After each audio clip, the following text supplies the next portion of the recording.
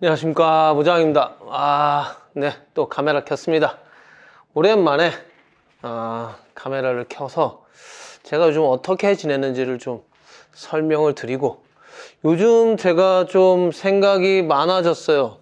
어, 왜냐면 저희 자수변태 형국 씨랑 이관재 과장이랑 오다가 없다 보니까 음, 같이 회의를 할 시간이 좀 많아졌고 이 친구들의 의견을 들으면서 솔직히 이관재 과장은 제가 없는 동안에도 한국 시장에 물건을 공급하고 창고를 관리하면서 저보다 한국 실정을 더 잘 알고 형국 씨는 이제 31살 MZ세대 같으면서도 트렌드를 좀 더 많이 알고 모자에 대해서도 관심이 많은 친구라서 음, 의견들을 아주 잘 이야기하면서 저희 회사에 음, 지금 문제점들까지도 회사 외부에 있던 사람이다 보니까 그런 거 아주 잘 파악해 주면서 저희가 회의를 함으로써 좀 많은 제 생각의 변화, 심경의 변화를 겪고 아, 어떤 부분에서는 너무 올드하다, 어, 너무 트렌드에 맞지 않는다 뭐 이런 평가들도 저희 회사 내부 혹은 외부에서 많이 받으면서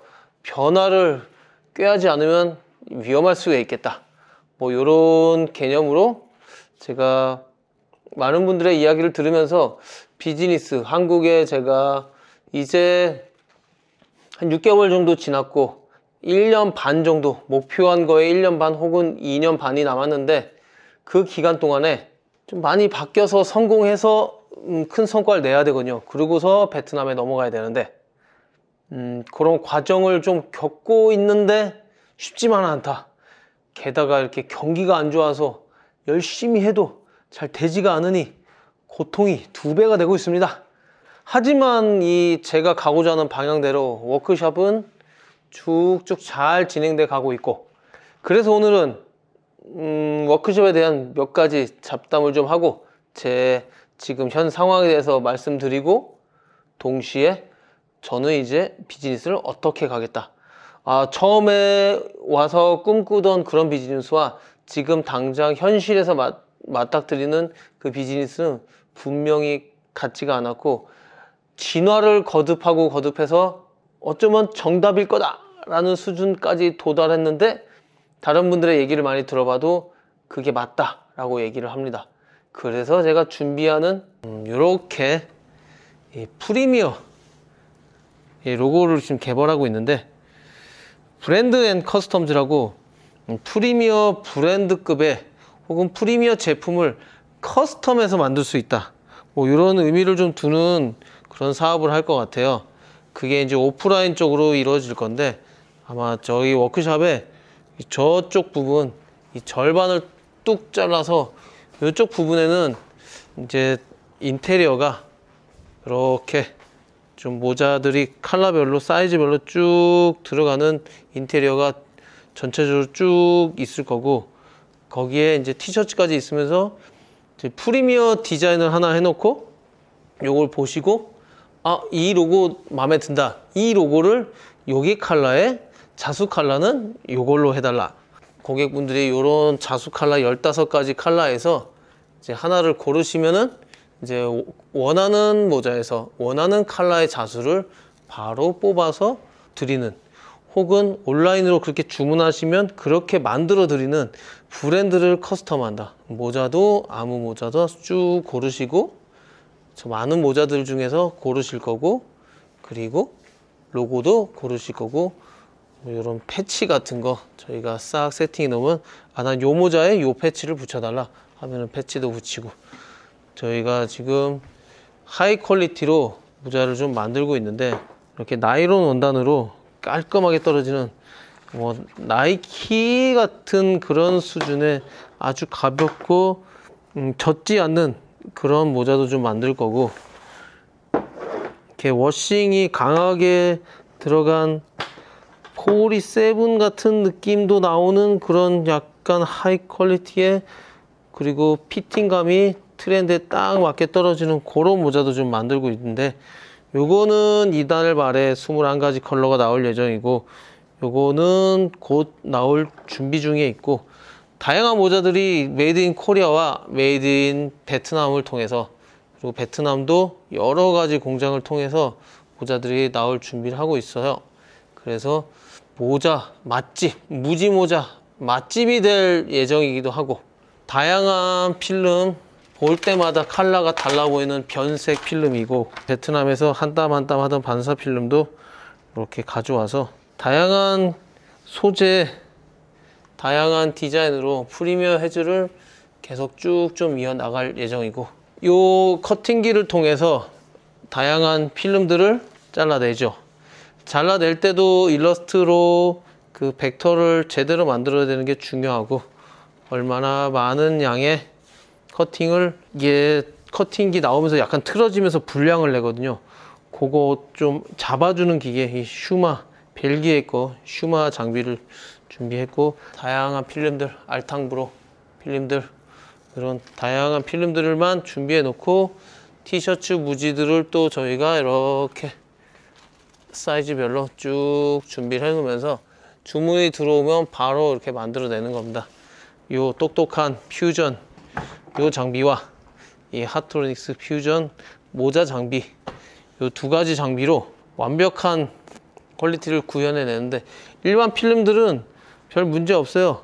그냥 이렇게 열로 hot melt를 녹여서 붙이면 그냥 바로 붙어버리고 뭐 특별한 그 handling이 어렵진 않는데 이렇게 발포 필름 발포 필름을 하게 되면은 어, 이 쿠킹이라고 얘기하는 저희가 요거를 한번 세탁을 해왔거든요. 세탁을 하고 나니까 이렇게 예전에 이제 이렇게 요런 점들이 생긴 게 이제 불량, 열 처리를 좀 잘못하고 압력을 좀 잘못 줬을 때 그리고 압력을 제대로 줬을 때는 이렇게 빵빵하게 튀어나오는데 세탁을 해보니까 더 많이 튀어나왔어요.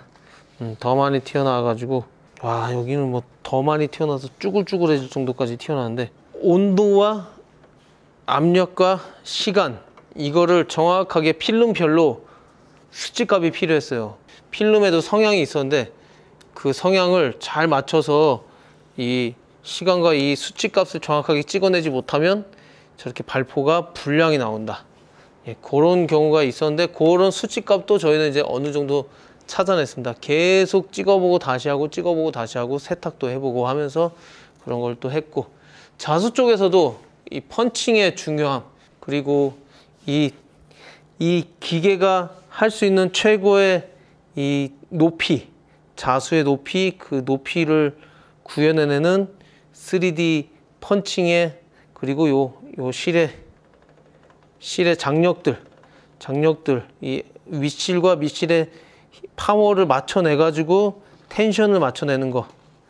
아, 그리고 요 장비와 또 요 장비가 아, 또이 암이 또 다르게 생겼는데 그럼으로써 나오는 이 차이점 이런 것들까지 익혀내는데 저도 약간 좀 변태적으로 좀 그런 걸 좀 예민한 사람이고 형국 씨도 진짜 자수 변태예요.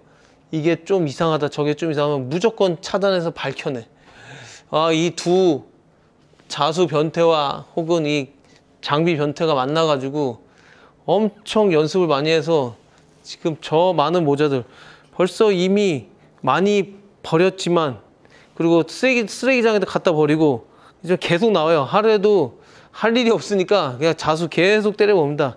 이 때려보면서 잘 나오나 안 나오나 때리고 길이 재보고 이 문제 있나 없나 그다음에 사이즈 다 재보고 저 기계와 이 기계의 차이점 익혀가지고 계속 만들어내는 거예요. 이런 이런 완성 자수가 할, 이 정도까지 할 수 있는 건가 싶을 정도의 이 높이감.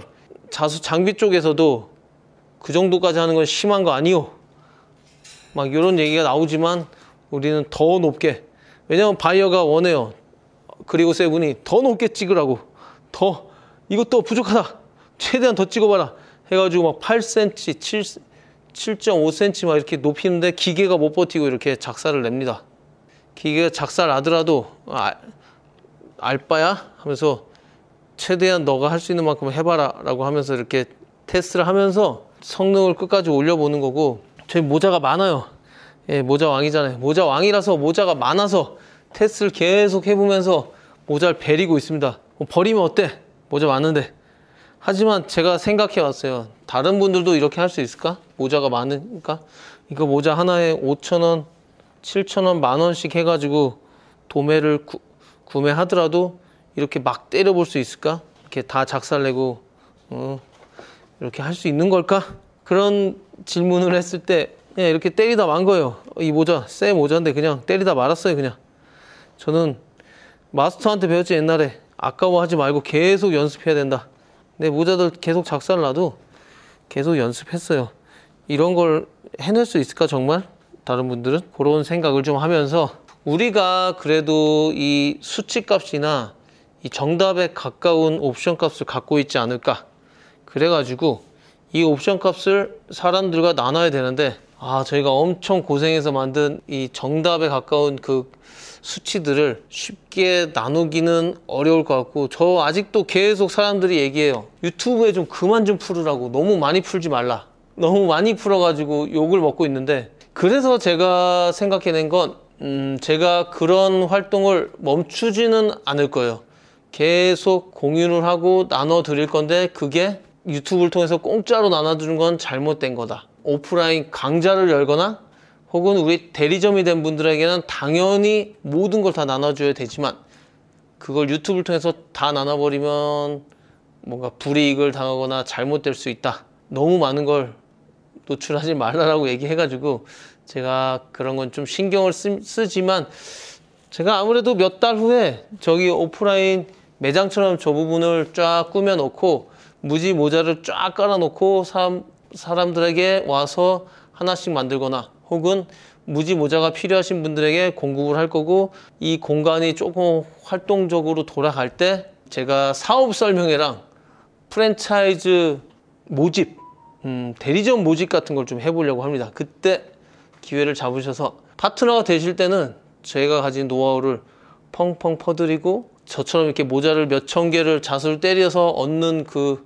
결과물들을 바로 얻어내실 수 있게 세팅 값을 알려드리고 세팅을 도와드리고 저희 제품을 낭비되지 않게 제공할 것 같습니다. 그런 노하우들을.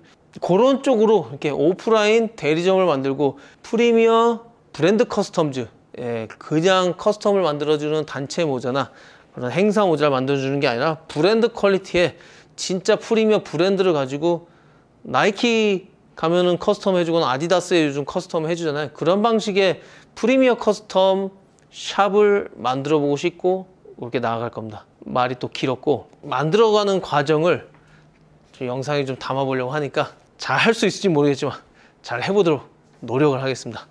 자 그러면 미싱이 있는 아직 완성된 로고가 아니라서 바뀔 수도 있지만 이 premier brand and customs premier brand and customs가 성공할 수 있기를 바라며 다들 얘기합니다. 오래 걸릴 거라고. 저도 알고 있습니다. 오래 걸릴 거라고. 하지만 좋은 기회를 만나거나 많은 분들의 도움을 주시거나 관심을 주시면 그렇게 오래는 걸리지 않을 거라 기대하겠습니다. 열심히 하겠습니다. 들어왔어요, 이사님들.